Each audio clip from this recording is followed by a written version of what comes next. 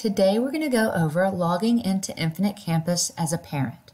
From the lcsedu.net website, scroll down to Infinite Campus portal.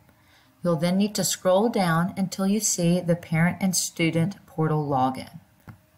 You can also use the shortcut bit.ly forward slash lcs portal to get to this login page too. Once we've chosen parent, if you've forgotten your password or forgot your username, you can select below the login button and be redirected to access that information. If you're a new user, keep scrolling down and there's a link for you as well. Enter your username and password, select login, and we'll begin. The first page you come to, the home page, is the Message Center. You will see any current announcements, or you can toggle to the, your inbox, which has various messages from teachers or from schools.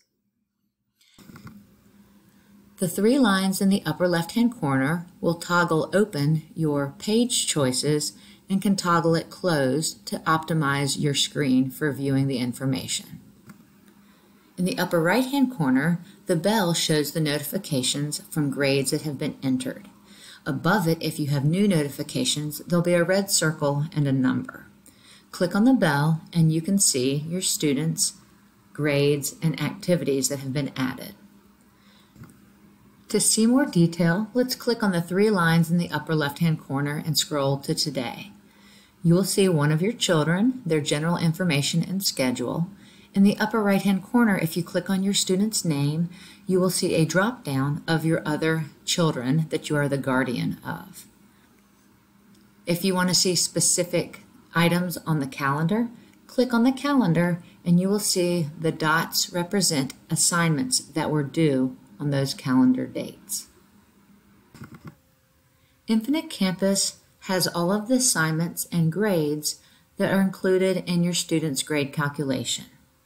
So if you click on the assignments, you'll see each individual assignment, the class it is associated with, the grade the student received on the assignment, and any comments the teacher may have made while grading the assignment. They're arranged by date. You can also look at the assignments that are missing. If the student is not missing any assignments. And if you click on current term, it will upload all of the assignments.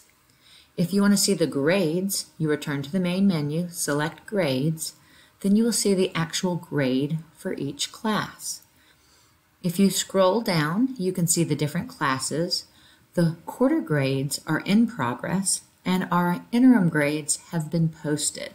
So as we move through this quarter, the quarter grade will still change, but the interim grade is a snapshot of how your student was doing halfway through the quarter. If you want to see detail about a specific class, you can click on the actual class name. It will take you to information about the course with the teacher name, and you will also be able to look at all the grades. The grades will be collapsed until you click the plus.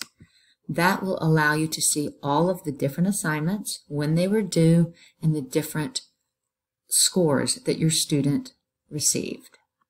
And you can close this and return to the main menu you can scroll down to other options. You can see your student schedule, documents.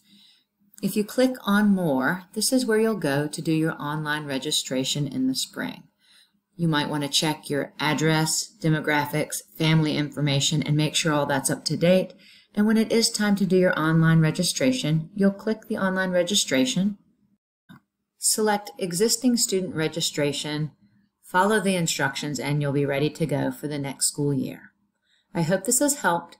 Use that main menu, go between the different pages, and make sure you help keep your student on track.